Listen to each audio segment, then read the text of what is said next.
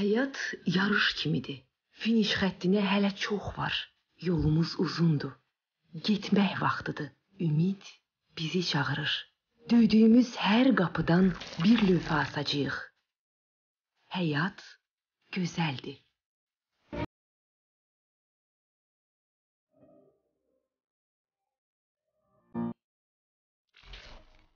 Şimali Kipr Türk Cümhuriyyətinin müstəqilliyinin 40-cı il dönümü qeyd olundu. Beynəlxalq kitab sərgisinin keçirilməsi öz-özlüyündə bir fakt kimi son dərəcə böyük hadisədir. Əsl bayrama çevrilən 9-cu Bakı Beynəlxalq Kitab sərgisində hansı anlar yaşandı? Mən çox şadam ki, mən ə, bu sərgidə iştirak edirəm. Türkiyəli məşhur Ercan Kesal Bakıda Çok mutluyum. Kendi meslektaşlarımla burada olduğum için, onlara konuşma fırsatım olduğu için çok mutluyum. onun bu dəfəki gəlişi nə ilə yadda qaldı? Xalq artisti Natiq Şirinovun solo konserti baş tutdu. Sənətkar 25 ilinin hesabatını verdi. 25 il ömrümüzdə balaca bir hissəni göstərdik. Mən çox istərdim ki, Natiqin özəl məktəbi də olsun, öz məktəbi də olsun. Həyat gözəldir. Hacı Nuranın təqdimatında birazdan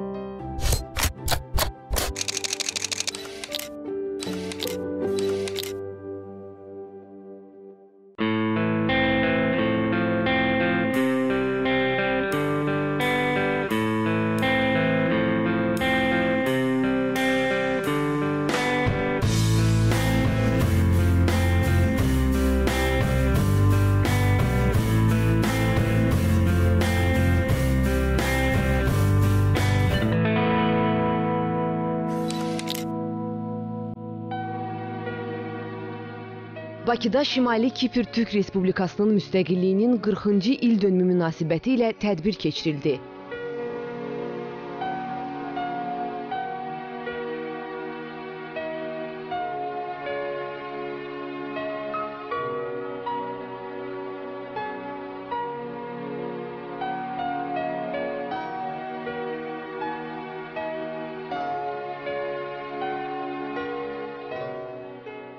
Şimali Kipr Türk Respublikasının Azərbaycandakı nümayəndəliyinin təşkilatçılığı ilə keçirilən tədbirdə bu ölkənin Bakıdakı nümayəndəliyinin rəhbəri xanım Ufuq Turganer, Milli Məclisin deputatları, Azərbaycan Respublikasının İnsan Hüquqları üzrə müvəkkili Səbinə Əliyeva, Türkiyənin ölkəmizdəki səfiri Cahid Bağçı və ictimaiyyət nümayəndələri iştirak etdilər. Tədbirdə əvvəlcə Azərbaycanın və Şimali Kiprin dövlət himnləri səsləndirildi. Şimali Kipr Türk Respublikasının Bakıdakı nümayəndəliyinin rəhbəri xanım Ufuq Turganer böyük türk millətinin bir parçası olan Şimali Kiprin müstəqilliyinin qardaş və dost Azərbaycanda qeyd edilməsinin qürurverici hadisə olduğunu söylədi. Kuzey Kıbrıs Türk Cumhuriyeti'nin 40. kuruluş yıl dönümünü Can Azerbaycan'da, kardeş Azerbaycan'da coşkuyla kutlamanın gururunu ve onurunu yaşıyoruz. Ee, biliyorsunuz Kuzey Kıbrıs Türk Cumhuriyeti'nin yurt dışı temsilcilikleri de vardır. Orada e, bu kutlamalar bütün temsilciliklerimizde de yapılmaktadır. Bu bizim için bir şereftir. Büyük bir mücadele yolundan gelmiştir Kıbrıs Türk halkı. Bugünlere ulaşmıştır. O ölkəsinin Türkiyənin dəstəyi ilə daha da inkişaf edəcəyinə və möhkəmlənəcəyinə əminliyini ifadə etdi.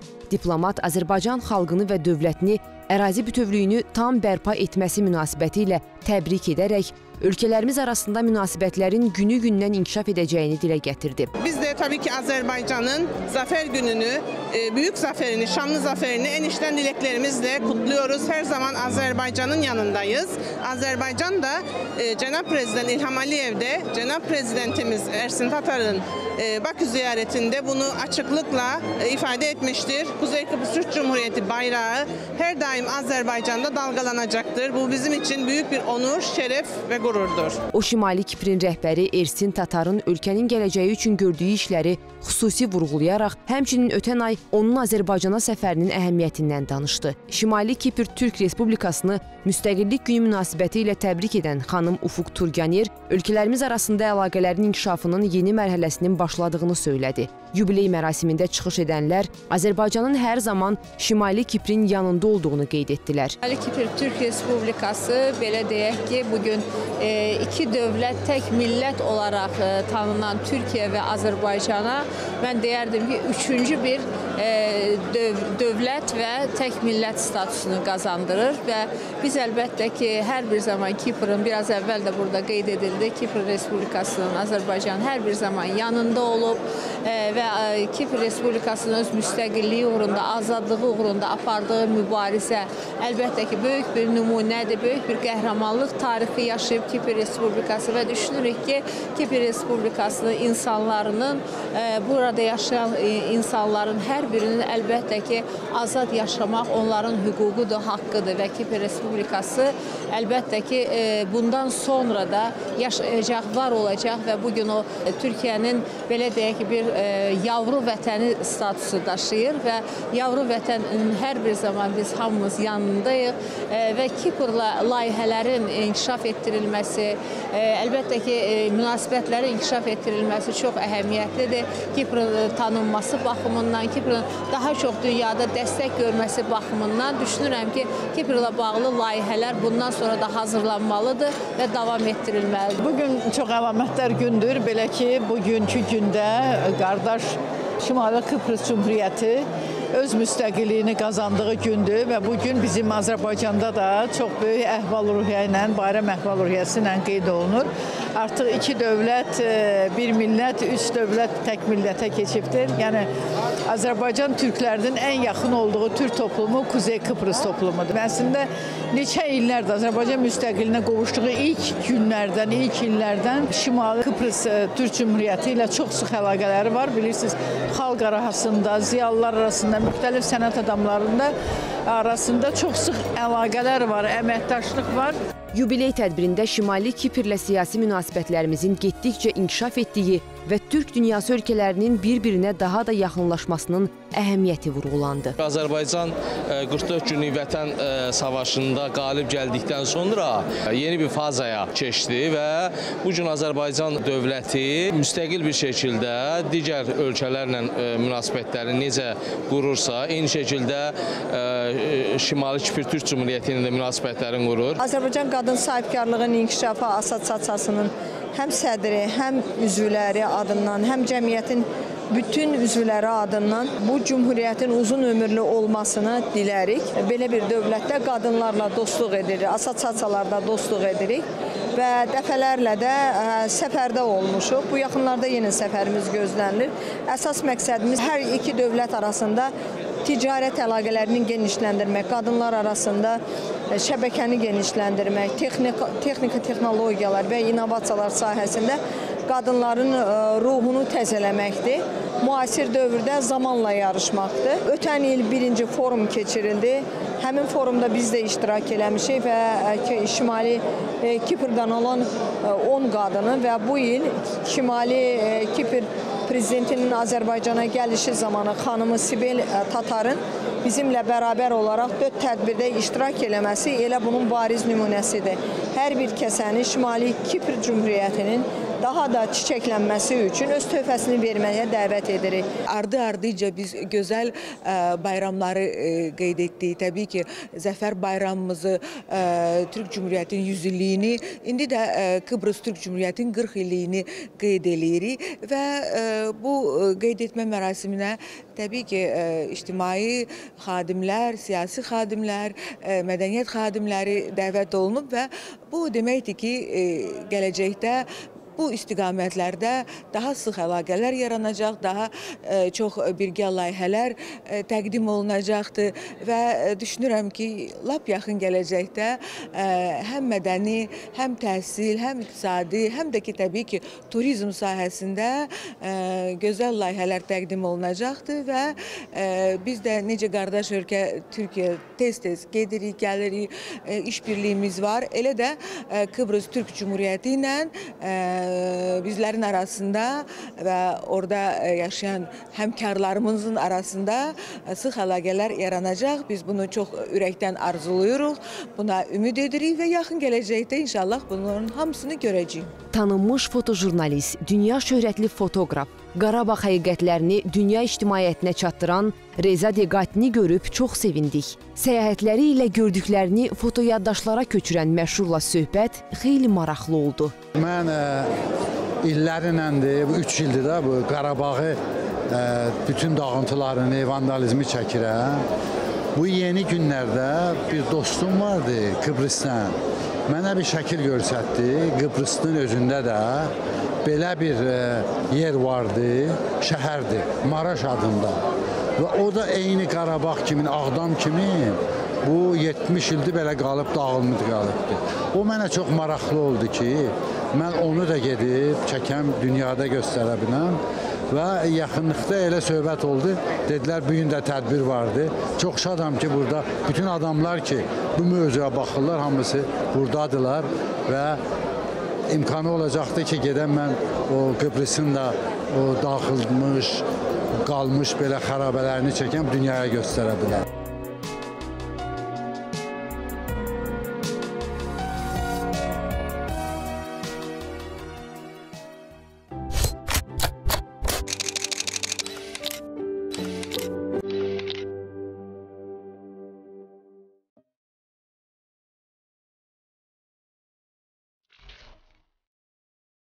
Beynəlxalq kitab sərgisinin keçirilməsi öz-özlüyündə bir fakt kimi son dərəcə böyük hadisədir. Əsil bayrama çevrilən 9-cu Bakı Beynəlxalq Kitab sərgisində hansı anlar yaşandı? Mən çox şadam ki, mən ə, bu sərgidə iştirak edirəm.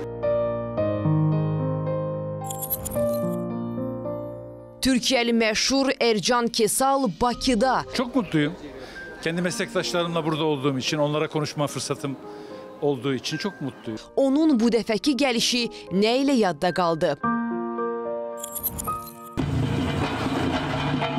Xalq artisti Natiq Şirinovun solo konserti baş tutdu. Sənətkar 25 ilinin hesabatını verdi. 25 il ömrümüzdə balaca bir hissəni göstərdik. Mən çox istərdim ki, Natiqin özəl məktəbi də olsun, öz məktəbi də olsun. Həyat gözəldir. Hacı Nuranın təqdimatında birazdan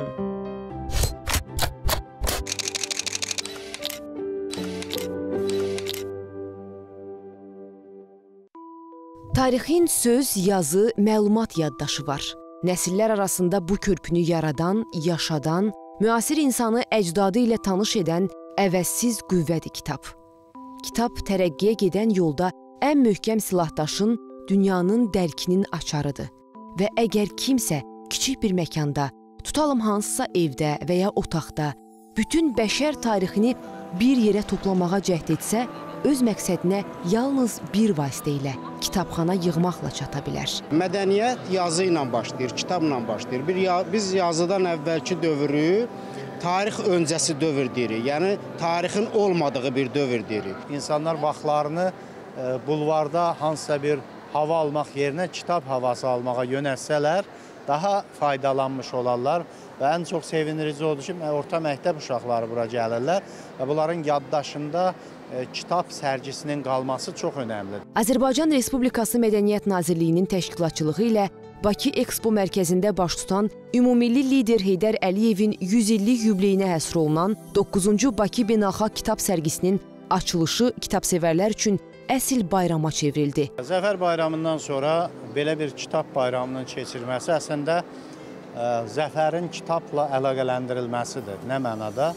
Həm Heydər Əliyevin ə, 100 illiyi ə, kontekstində bu cür tədbirlər müntəzəm olaraq keçirilir bu il ərzində, amma eyni zamanda bu il həm də bizim üçün tarixi bir ildir və insanların artıq kitaba daha çox bağlı olması, kitab üzərindən daha çox həyatını qurması önəmlidir. Çünki hərb meydanında qalib gəldiyimizi mədəniyyət sferasında davam etdirməliyik. Bundan sonraki rəqabət daha çox hərbi rəqabətdən o tərəfə intellektual rəqabət olacaq. İntellektual rəqabəti də aparmaq üçün kitabı önə çəkmək lazımdır. Açılış mərasimində Mədəniyyət naziri Adil Kərimli, Azərbaycan İnsan Hüquqları üzrə müvəkkili Səbinə Əliyeva, deputatlar və digər rəsmi şəxslər iştirak etdi.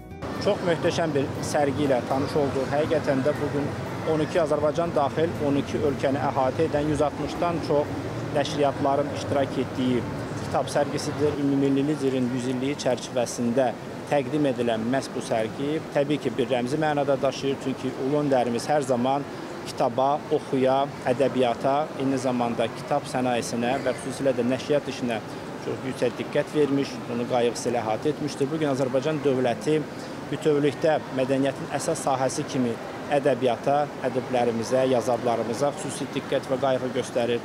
Kitaba, kitab sənayesinin inkişafına xüsusi diqqət və qayğı göstərir. Möhtərəm cənab prezident İlham Əliyevin tapşırıqları və müvafiq sərəncamları ilə kitab sənayesinin inkişaf etdirilməsi istiqamətində çox saylı tədbirlər həyata keçirilməkdədir. Xüsusilə də kitab sənayesinin ölkəmizdə təşviqi üçün və kitabın hər kəs üçün əltəçanlığını təmin etmək üçün dövlət təşviq mexanizmləri e, tətbiq edilməkdədir. Məs ədəbiyyatdan azad edilmə istiqamətində məhz bax buradakı e, mövcud e, mexanizmlərin təqdimatı da bunların bariz nümunəsidir. Çox saylı uşaqlarımızı burada görürük, şagirdlərimizi burada görürük. Bu həqiqətən də sevindiricidir və sevinirik ki, bu gün istər yeni texnoloji inkişaf baxmayaraq, rəqəmsal dünyanın artıq belə deyək, həyatımızın əsas tərkib hissəsinə çevrilməsinə baxmayaraq, klassik kitablarımız yenə də gündəmdədir və bu təbii ki, bizim üçün də vacib ə, əsas şərtdir ki, bəs klassik kitabımızı ə, kitab ənənələrimizi təqdim edək və onu davam etdirək. Düşünürük ki, gələcəkdə də fərqi yoxdur. Yəni hansı formatda olmasından asılı olmayaraq, istəyir kitab ə, yazılı kitab formatında, istəyir rəqəmsal kitablar, audio kitablar fərq etməz. Düşünürük ki, bu sahənin hər birinin inkişaf etdirilməsi bizim üçün, dövlətimiz üçün önəmlidir. Xüsusilə də Qarabağımızda uzun illərdir erməni işğalçıları tərəfindən Azərbaycan mədəni mülkiyyətinin tərkib hissəsi kimi Azərbaycan kitabxanalarının minə yaxın kitabxananın və 5 milyondan artıq kitab fondumuzun tamamilə darmadağın edilməsi, məhv edilməsi bizim üçün ağrılı, acılıdır. Amma bu gün möhtərəm cənab prezidentin rəhbərliyi ilə Qarabağımızda yenidən istəyir mədəni həyat, istəyir bütövlükdə həyat fəaliyyəti canlanmaqdadır. Qarabağımız yenidən canlandırılır, inkişaf etdirilir və kitab ənənəsi də, kitabxana ənənəsi də düşünürük ki, Qarabağa möhtəşəm formatda qayıdacaq. Bugünkü sərgi ki, Mədəniyyət Nazirliyi keçirdir. Bu çox ə, yaxşı bir layihədir. Hətta bu yaxınlarda ə, elan da olundu ki, Azərbaycan mədəniyyəti 2040 layihəsi başlayıb mədəniyyətin məzmununu dəyişmək, Azərbaycan mədəniyyətinin məzmununu dəyişmək və bu da onu göstərir ki, həm Azərbaycan dövləti, həm də Azərbaycan cəmiyyətinin müəyyən elit kəsimi artıq bu yola qədəm qoyub. Yəni biz artıq dünyaya bir mədəni xalq kimi e, çıxmağı qarşımıza bir hədəf qoymuşuq və mən düşünürəm ki, Azərbaycan xalqının da, Azərbaycan cəmiyyətinin də bu e, hədəfi doğrultmaq potensialı mövcuddur, var. Sərgi çərçivəsində uşaqlar və böyüklər üçün master-klasslar, müxtəlif kitab təqdimatları, imza günləri, konfranslar, simpoziumlar, qiraət və musiqi saatları təşkil edildi. Kitab sərgisindəyik. Hər birimizin bayramıdır. Bu cür sərgilərin keçirilməsi olduqca vacibdir və əhəmiyyətlidir və hesab edirəm ki, sərgiyə gələnlər arasında uşaqlar, məktəblilərin, universitet tələbələrinin sayı çox olmalıdır. İşğal zamanı erməni vəhşiləri arasında Ermənistanın həyata keçirdiyi müharibə cinayətləri arasında da bizim Milli Kitab Fondunun dağıdılmasıdır. Biz bu həqiqətləri də unutmamalıyıq və dünya ictimaiyyətinə çatdırmalıyıq. Biz çalışırıq kitab əlçatanlığı uşaqlar arasında genişləndirək. Bizim bir sıra uşaqlarımız gözdən əlildilər və bu uşaqların da kitablara əlçatanlığını təmin etmək məqsədi ilə xüsusi əlifbada tərtib olunmuş kitabların sayının çoxalmasını olduqca vacib və əhəmiyyətli hesab edirəm. Sərgidə 11 ölkədən 30-dan çox xarici təşkilat, 109 yerli nəşriyyat, poliqrafiya və kitab sənəti ilə əlaqəli müəssisə iştirak etdi. Sərgidə Azərbaycanın xalq yazıçıları və şairləri, eyni zamanda məşhur xarici yazıçılar və aktyorlar, fəxri qonaq qismində isə Rusiya Federasiyasının nümayəndələri iştirak etdilər. Eyni zamanda Türkiyənin görkəmli yazarları, elm adamları, tanınmış aktyorları da xüsusi tədbirlər proqramı ilə sərgidə təmsil olundular. Azərbaycanda e, beynəlxalq kitab sərgisinin keçirilməsi öz-özlüyündə bir fakt kimi son dərəcə böyük hadisədir. Kitab mədəniyyətin ən əsas, ən başlıca ölçülərindən biridir, göstəricilərindən biridir. Əgər bir ölkə bütün bu çətinliklərə, iqtisadi, nə bilim, hərbi çətinliklərə baxmayaraq, bütün təzyiqlərə baxmayaraq, dünyanın ikili standartlarına baxmayaraq öz mədəniyyətini qoruya bilirsə, öz kitabını qoruya bilirsə, bu xalqın ölməzliyinin, xalqın ruhunun böyüklüyünün əlamətidir. Kitab xüsusi məna daşıyır. Bundan sonra kitablarımızın rəngi və havası dəyişilir. Biz Qarabağ torpaqlarını azad edəndən sonra Qarabağa dönüş adlı bir poema da yazmışdım. Bu, bu zəfərə ilk millətəm marşını yazmışdım, sonra bir zəfər marşı da yazdım. Yəni bu kitab kitaba yeni bir can verdi bu e, qələbə.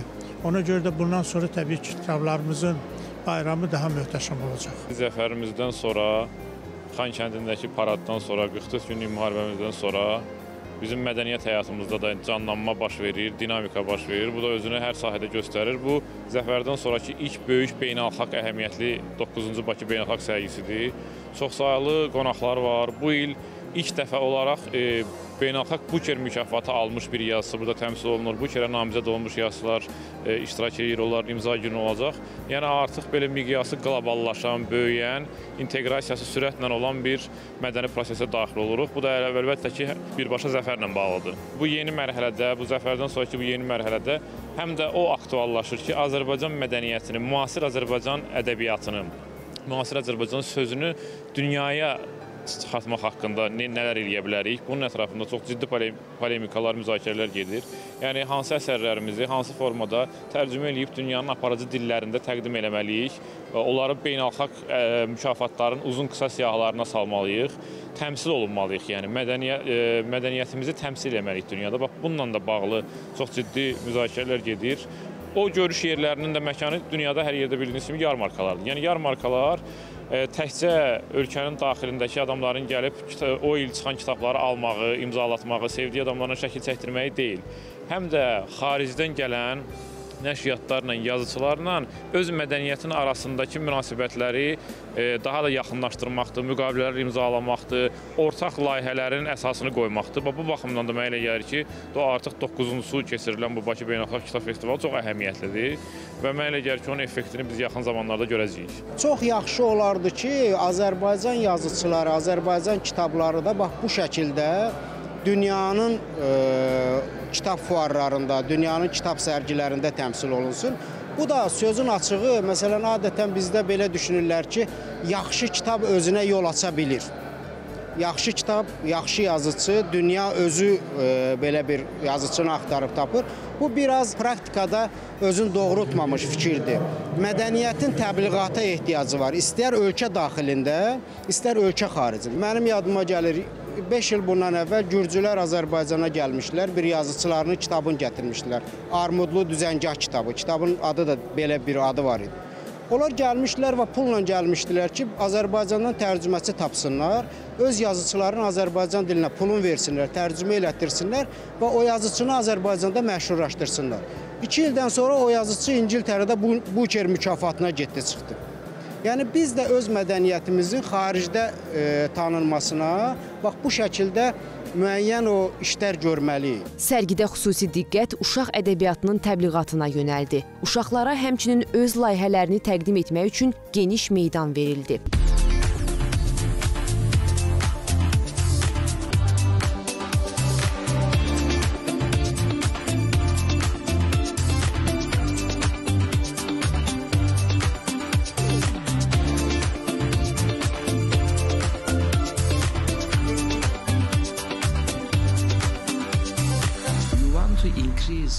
Product range and make it all for grown-ups also?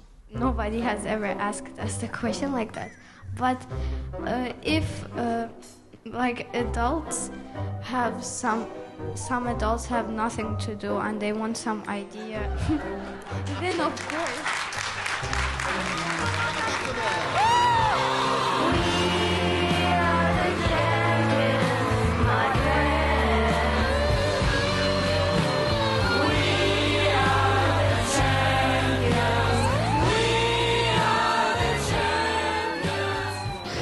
Minibus biznes məktəbinin şagirdləriyik.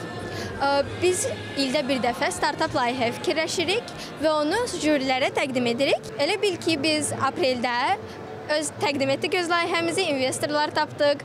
İyunda milli çempionatda birinci yerə çıxdıq və dünya çempionatı 16 iyulda keçirilirdi Şotlandiyada, Glasgow şəhərində və orada da biz birinci yerə çıxdıq. Və orada biz Azərbaycanı təmsil elədik, öz bayrağımızı qaldırdıq. Bu ekokrandaşdır. Burada sonunda kapsula var. Burada kapsulada toxumlardır. Karandaş kiçiklərdə siz onu əkirsiniz və karandaşdan bitki bitir. Biz öz layihəmizlə demək istəyirik ki, biz ekologiya qorumalıyıq. Biz bu layihəmizlə bəşəriyyətə səslənirik ki, biz ekologiyanı qorumalıyıq və bizim də karandaş bunu bildirir ki, ekologiyadan təbiətdən aldığımızı təbiətə qaytarırıq. Mən çox şadam ki, mən ə, bu sərgidə iştirak edirəm. 5 gün davam edən sərgi oxucu axını ilə yeni kitab və nəşriyyatların təqdimatı ilə yadda qaldı.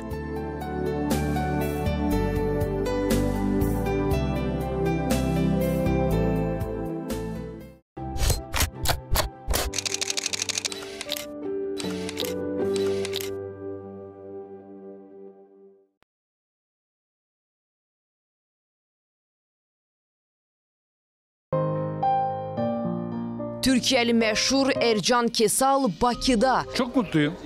Kendi meslektaşlarımla burada olduğum için, onlara konuşma fırsatım olduğu için çok mutluyum. Onun bu dəfəki gəlişi nə ilə yadda qaldı? Xalq artisti Natiq Şirinovun solo konserti baş tutdu. Sənətkar 25 ilinin hesabatını verdi. 25 il ömrümüzdə balaca bir hissəni göstərdik. Mən çox istərdim ki, Natiqin özəl məktəbi də olsun, öz məktəbi də olsun.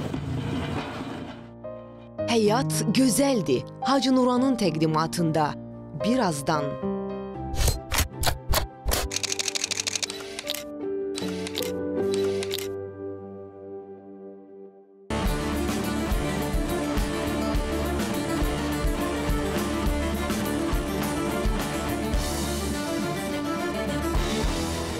Tamaşaçı onu məşhur Çuxur serialındakı İdris Koçovalı obrazı ilə sevdi. Aslan parçaları!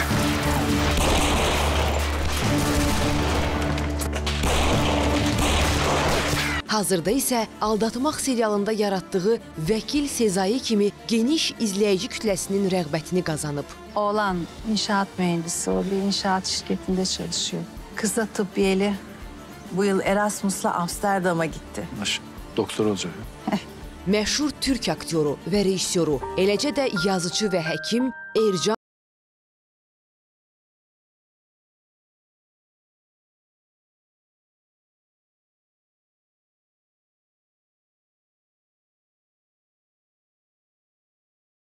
Ercan Kesal yapıyor. Başlangıcı edebiyat. Yani kitaplar, okumak. Ee, üzerine başka meslekleri koyabiliyorsunuz ama okuyarak, hayal kurarak ve yazarak aslında var ediyorsunuz. Ben de öyle oldum diye düşünüyorum. Bu həftə ölkəmizdə səfərdə olan Ercan Kesal 9-cu Bakı Beynəlxalq Kitab sərgisində oxucuları ilə görüşdü. Peri qazozu, Vilhasil, hekimlik sanatları, Əvvəl zaman, Cin aynası və sair əsərlərin müəllifi olan Türkiyəli məşhur Yunus Əmrə İnstitutunun stendində öz kitablarını imzaladı. Cibimdəki ekmək qırıntıları adlı mövzuda çıxışı da olduqca maraqla qarşılandı. Ercan Kesal Velhasil adlı kitabını böyük məmnuniyyətlə xeyriyyəçi jurnalist Hacı Nurana hədiyyə etdi və xatirə şəkli çəkdirdi.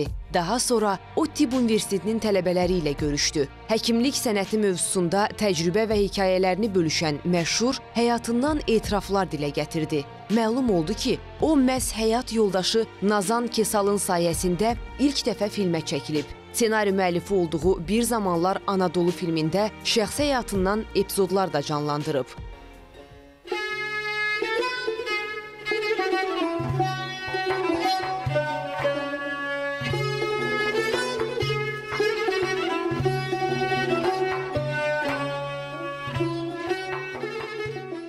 Dünyaya yalnız bir dəfə gəlirik. Onun məşqi yoxdur, deyən aktyor uğurlarını bəxtə bağladı. Zəngin həyat təcrübəsini həvəslə auditoriya ilə paylaşan qonaq bu görüşdən olduqca məmnun qaldı və hisslərini bizimlə bölüşdü. Çok mutluyum.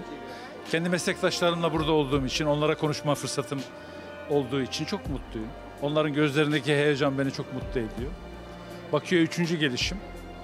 İnşallah daha sonra da gelirim. Kendimi kendi memleketimde hissettiğim birkaç yerden birisi.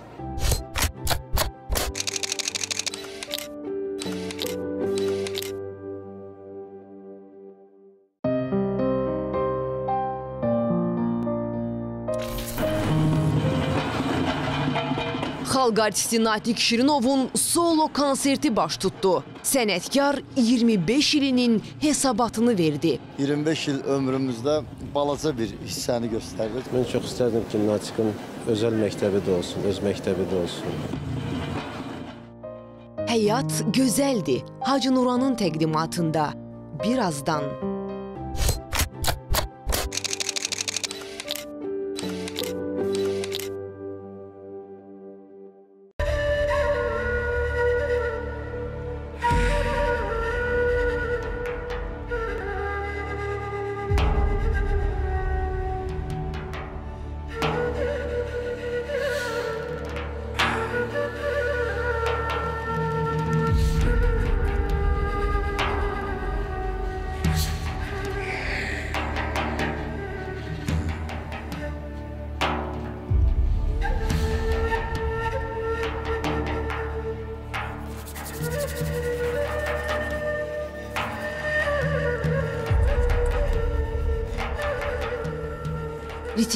həyat daşıyanlar və həyatın ritmini musiqiyə köçürə bilənlər bəşəriyyətin seçilmişləridir. Onun hər zərbəsində tarixin cığırı var. Barmaqlarında insanlığın arzusu, dünyanın yaşamaq eşqi var. Qədim insanın izləri, daşların səsi, qavalın pıçıltısı, torpağın nəfəsi, həyatın özü var. Buna nadir halda natiq insanlarda rast gəlinər. O bəşəri addımlara dinləyici olub, bəşəriyyətin səsini insanlığa duyura bilən musiqiçidir. O həyatın ritmi ilə yaşayıb, ritmə həyat verə bilən nadirlərdəndir. O qədim insanı müasir insana sevdirən, qavalı alqışa qərq edən, daşlara həkk olmuş kobud insan izlərini, zərbələrini incə ritmlərə çevirə bilən, danışmadan başa düşülən, qitəyə, materikə yox, dünyaya aydın dildə, ritm dilində, ritmin natiq dilində ifa edən Natiq Şirinovdur. O hələ 11 il öncə 2012-ci il mayın 22-sində Bakıda baş tutmuş Avroviziya müsabiqəsinin yarımfinalında Avropa musiqinin 50 çaları ilə fərqlənməyə, yadda qalmağa çalışanda ritmin dili natiq müasir insanı əsrlər öncəyə aparır. Onu keçmişi ilə tanış edir. Qaval daşı Qobustan divarlarından çıxır, doğulur, ritmə düşür. Bu, müasir insanı təəccübləndirməyin ən unikal, həm də mühafizəkar yolu idi.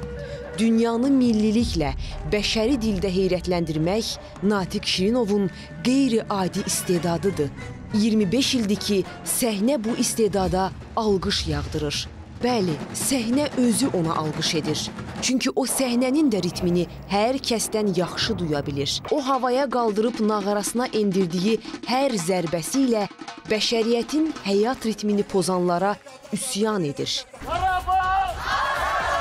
Gözünü bağlayıb ritmə təslim olduğu, nağarası ilə danışdığı hər dəqiqə o susqun qalmış məzlum qəlblərin ritmini cuşa gətirir. O həyatı ritmlə barışdırır. Ritmi ölməyə qoymur. Ürəyinin ritmi yetdiyi qədər əlləri ilə ritmə natiqcəsinə hakim olan Natiq Şirinov.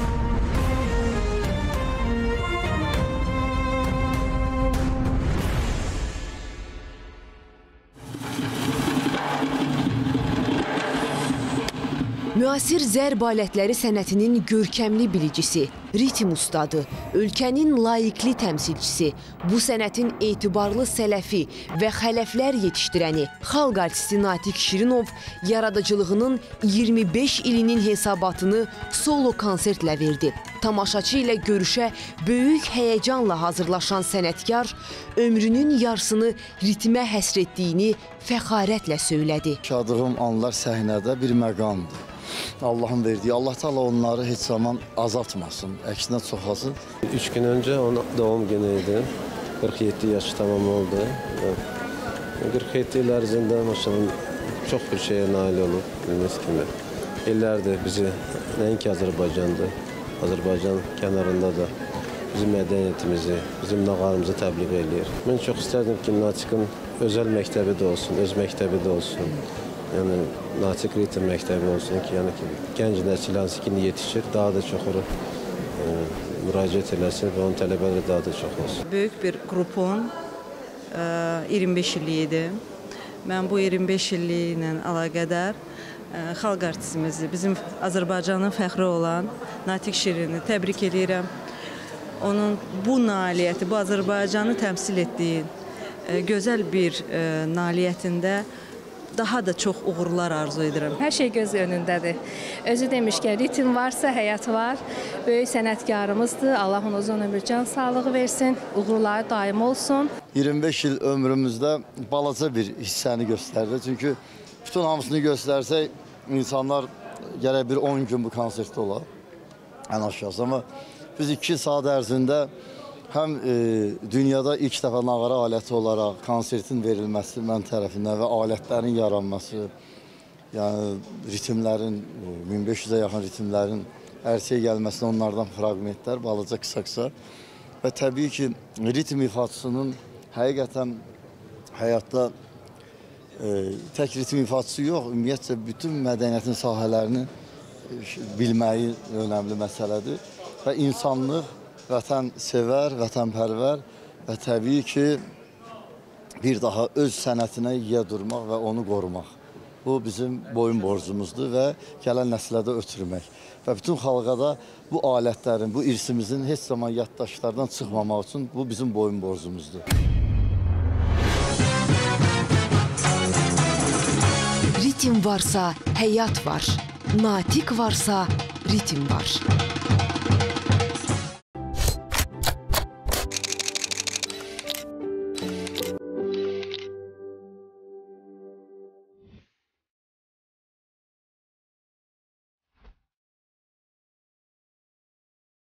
Həyat yarış kimidir.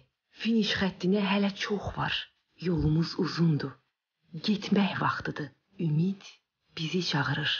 Döydüyümüz hər qapıdan bir lövhə asacağıq. Həyat gözəldir.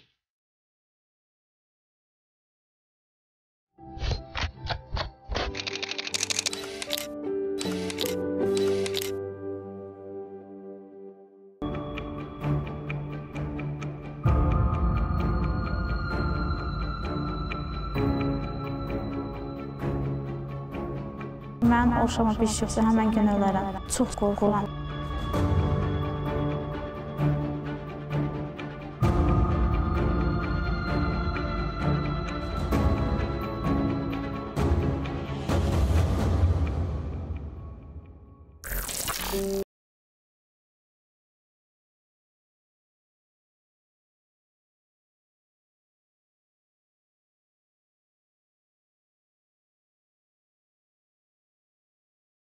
Həmən gün ölərəm. Yəni mən oşama bir şey yoxsa həmən gün ölərəm.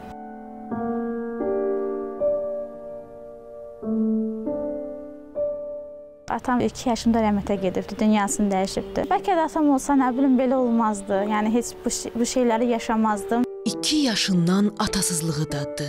Anası tərəfindən uşaq evinə atıldı. Beləcə Aytac ata-ana nəfəsinə möhtac, sevgisiz və güvənsiz böyüdü. Həyatın qoyununa düşəndə isə sevib seçdiyi insana sığındı. Elə bütün müsibətlər də ondan sonra başladı. qoşulub qaçmışdım da. Sadəcə mən də istəyirdim ki, gedəcəm, evlənəcəm, ailə həyatı quracam.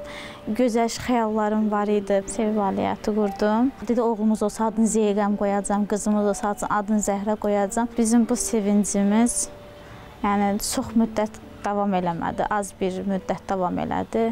6 ayında yoldaşım tutuldu. Yəni mənlə o qədər xəyal qurdu, qurdu. İndi də ki, bütün xəyallarım puçuldu. İnandı, ailə qurdu. Düşündü ki, nəhayət onu da bir qoruyan olacaq. Hardan biləydi axı, o adam da yarı yolda qoyacaq onu. Övladı da özü kimi atasız böyüyəcək. Onda yəni uji hamilə uji 6 aylıq idi Hüseyn bəhdimdə. Nə həkimə aparmadılar, nə bir şey eləmədilər, nə bir demədilər ki, gedəsən uzi salaq görə uşağının vəziyyəti nətərdir. Həkimə getmədim, imkansızlıq oldu. Yəni çox pis oldu vəziyyətim. Özüm getdim məsəl üçün hamilə-hamilə qabızad yudum, elədim. Anam evdən çıxartdı. Sonra uşaq olma, uşağımın yəni dünyaya gətirəndə evdən çıxdım mən. Anam evdən çıxartdı, get harda doğursan elə, mənə yaxın gəlmə.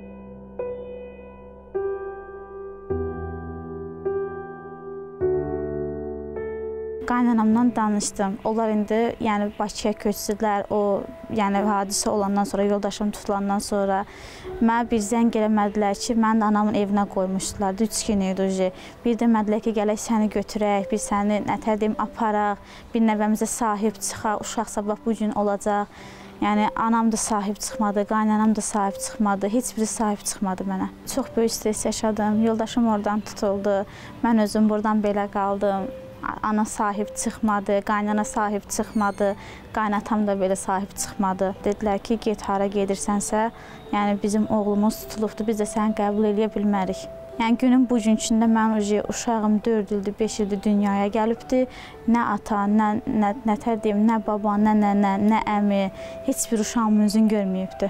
Ondan sonra da anam da evdən çıxartdı, dedi ki, yəni get nə varsan elə səni qəbul eləmədilər.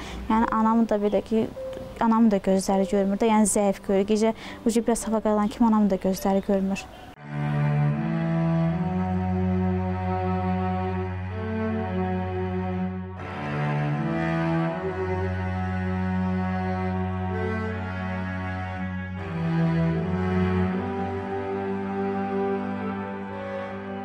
Bugünkü gündə biz oradan bura gəlmişik. Mənim uşağımın nətədim evdə yeməyi, piçeyniyi yox idi. Yəni gəldim bunlara da utandım demək. Yəni vəziyyətim pisdir, elədir. Nə bunlar da yəni mənə 5 gün, 3 gün baxacaqlar. Yəni Hüseyni götürüb gedəcək bir yerim də belə yoxdur. Nə atamın evi, nə anamın evi, nə qardaşımın yanı, nə bacımın yanı. Yəni heç kim bu dəqiqə yəni o uşaqla qəbul eləmir. Qohuma həvalə eləyirəm. Məsəl üçün 9-da gedirəm işə. Axşam da 9-da gəlirəm və yaxud da məsəl üçün gəlirəm görürəm ya yatızdırıbdı, ya nə bilim, məsəl üçün mən oje evə girirəm, görürəm ki, gözün ucu ilə baxır. Onda ürəyim paralanır ki, yəni məsəl üçün çox uşaqlar ana evə girən kimi, ata evə girən kimi üstünə qaçır. Oğlum ata sevgisi görmədi, nənə sevgisi görmədi, qayğısı görmədi. Elə nətər deyim, olandan bəri elə uşaq ancaq məndən başqa heç kəsi görmür bir məsəl üçün indi xəstə də olsa, məsəl üçün bir şey də olsa ən azından mayiyə çıxa bilərdilər. Mən bugünkü gündə kimsənin evində sığınacaq olmazdım. Gənc yaşından üzləşdiyi bu böyük sarsıntıdan sonra o oğlunun atasını da bağışlaya bilmir. Ürəyi barışmır sadəcə. Atasının yolu yox, gözləmirəm. Çünki gözləməyimə dəyməz o insan. O insan bugünkü gündə mənim yanımda olmalı idi. Bizim xəyallarımız var idi. Biz o uşağı bir yerdə böyütməli idi. Mən bugünkü gündə əziyyət çəkirəm, çox əziyyət çəkirəm. Bir Allah şahidin ki, mən nə qədər əziyyət çəkirəm o uşağı böyütməkdən ötəri. Bu dəqiqə yəni o qaldığım yerdə binan arvadları deyir ki, sən ki maniyə halal olsun ki, gedib o uşağı atmırsan, eləmirsən, sahib çıxırsan. Bu dəqiqə deyir sağlam uşağı atırlar deyir. Yəni orada da çoxsu məsəl üçün sağ olsun köməklik eləyirlər. Nətər deyim belə Qurban bayramında biri paltar alanda, biri onu alır, biri bunu alır. Yəni hələ ki belə yaşayıram, amma məsəl üçün böyüdükcə onun vəziyyəti çox ağır olacaq. Yeriyəməyəcək, eləməyəcək. Taleyin amansız hökmü yaman pis yerdə yaxaladı bu körpəni. Doğulduğu gündən həyatın sərt zərbəsinə tuş gəldi. Atasının üzünə də həsrət qaldı danışıb yeriməyə də. Doğuşdan sonra bildilər ki, bu uşaq xəstədir də. Mən elə bildim ki, normal uşaqdır. Amma yəni həkimlər sonradan sonra dedi, 40 gün onun şüşənin altında yatızdırdı ki, ciyəri açılmadı, eləmədi, oksigenlə zaddan. Uşağım hardasa bir iki gün ağlamadı. Dizimi atdım elə o kalya, yəni o xəstəxana kalyaskaları onun yanında dedim ki, oğlum gözünü açsa ə, adını Hüseyn qoyaram. Uşağımın hardasa yarım saat çəkmədi dedilər ki, uşağım səs çıxartdı bir ınqıltı. Ancaq belə gözləri baxırdı şüşənin altında. Nə yemirdi, nə içmirdi, ancaq sistemlə qidalanırdı. Zamanı tutub saxlamaq istəyir Aytaç. Çünki vaxt Hüseynin əleyhinə işləyir. Günü gündən vəziyyəti pisləşir. Çox narahatdır son vaxtlar, narahatçılıqları çoxalıbdı. Çünki böyüdükcə problemi lap çıxır, böyüdükcə bir problemi çıxır. Mən uşağımın yeriməsi üçün, gəzməyi üçün 20 min manata ehtiyacım var. Uşağım əməliyyat olunmalıdır qılçalarından. Hər dəfə mən evə girəndə uşağımın o gözünün qırağı ilə baxanda ürəyim parçalanır. Mən də istəyirəm ki, uşağım yerisin. Oğlumun müalicəsi var. Yəni həkimlər də deyir. İnşallah Allah qoysa Allahın köməyi ilə oğlum yeriyər, yürüyər. Tək övladımdır. Çox əziyyətlər çəkmişəm. Elə günüm olub gedib işləmişəm. Uşağıma bir tikə çörək qazanım deyə indi çox əziyyət çəkirəm vəbşə. Yəni nəyim var, nəyim yox, hər bir şeyimi uşağımın yolunda qoymuşam yolun sonuna gəlmişəm deməyim. Çünki mən öz xalqımı güvənirəm, öz xalqımdan yardım istəyirəm Hüseyn balama görə. Hüseynim də istəyirəm ki, o pisi uşaqlar kimi yerisin, yürüsün. Mən evə girəndə, gözünün qırağı ilə baxanda ürəyim parçalanır.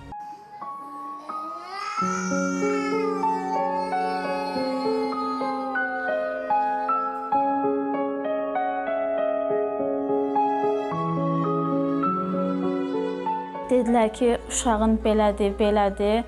Uşağımı yenə də atmadım, sahib çıxdım öz uşağıma. Sonra xəstəxanadan çıxandan sonra dedilər ki, filan xəstəxana var. Borca xərcə girdim, əlimdə biraz qızılım var idi. Getdim onu satdım, uşağımı apardım. Həkimlər dedi ki, yəni yeriməyə şansı var, yerimək umudu var. Həkimlər mənə ümid verdi. İndi də ki, uşağımın yeriməyini istəyirəm.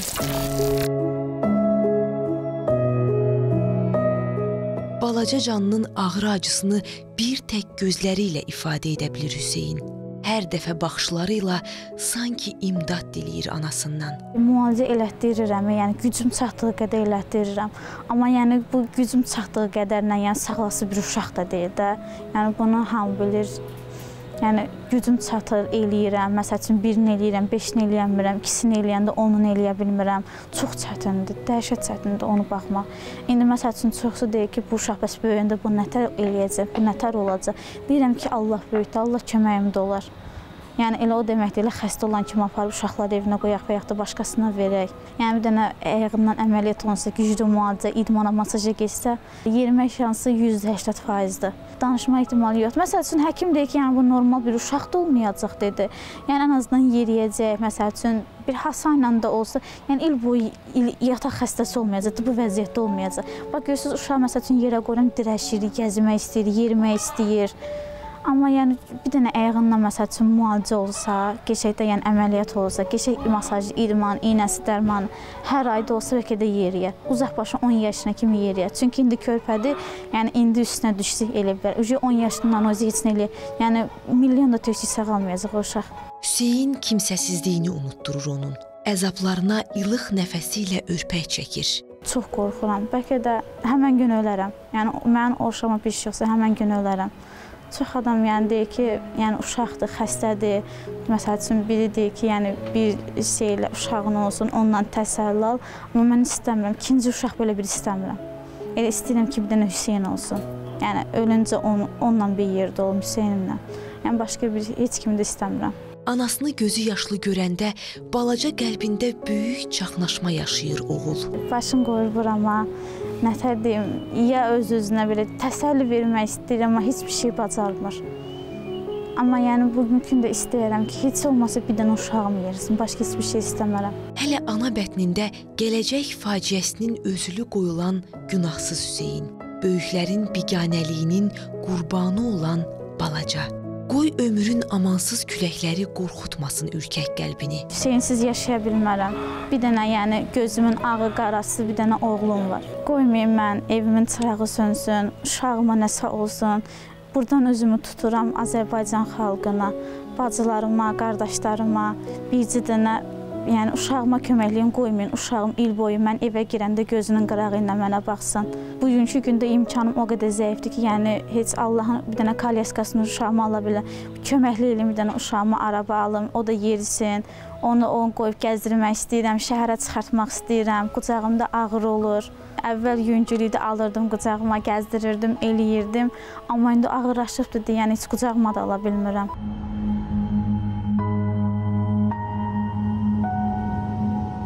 Həyatın burulğanında çabalayan Hüseynin doğması siz olun, əziz insanlar. Atası da, babası da, nənəsi də siz olun, xeyirxah adamlar. Hüseyni tək qoymayın.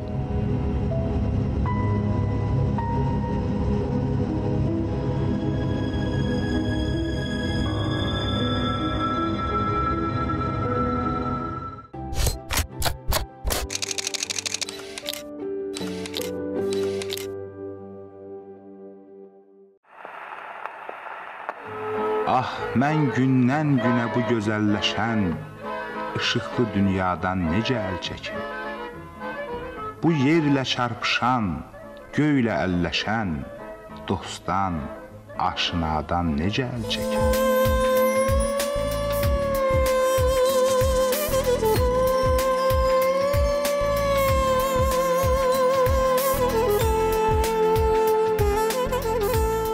Nakam ömrün yaşamaq yanğısını necə də gözəl pıçıldayıb Mikail Müşfiqimiz. Məğlubiyyətləri aşan insan övladının əzmini, ayaqda durmaq cəhdini, hər məyusluqdan sonra yenidən dirçəlmək, yaratmaq eşqini sətirlərin yaddaşına köçürərək bizi daha ümidli sabahlara səsləyib əslində.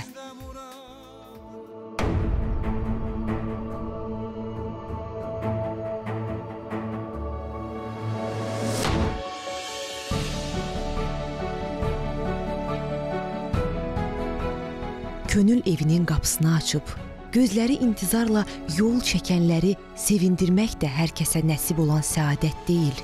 Bunun üçün həssas qəlb, şəfqətli və mərhəmətli davranış, həm də böyük səbir, dönməzlik, qətiyyət gərək və bir də sevgi ilə döyünən ürək.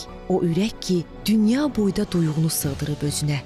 O ürək ki, başqalarının dərd xurcununu çiynində daşıyır, həm də illərlə yorulmadan, bircə dəfə də olsun uf demədən, giley etmədən, Simur quşu tək adını çəkən hər kəsin ocağında peyda olur. Çarəsizlərin dayağına çevrilib, aciz baxışlara inam aşılayır. İnandınsa gerisi asandır. Çünki ən çətini bu hissin qəlbdə kök atmasıdır. Həyatın cazibə qüvvəsinin sirri də məhz inamdır. Özünü unudub insanların taleyi ilə yaşayan, Hacı Nurana da müşkülləri dəf etməyə güc və əminlik verən, onun ruhunda yuva salan bu rəqibsiz hisdi. Hər uğrunda addım-addım onu izləyən, yollarına mayak olan o bənzərsiz duyğu. İnam.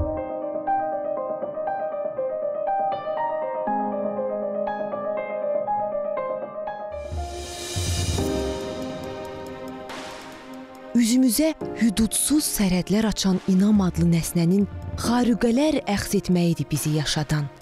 Odur ki, cani könüldən inanaq və yaşayaq. Çünki həyat gözəldir.